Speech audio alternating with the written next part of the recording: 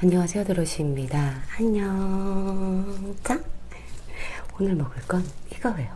이거는 통 오징어 순대.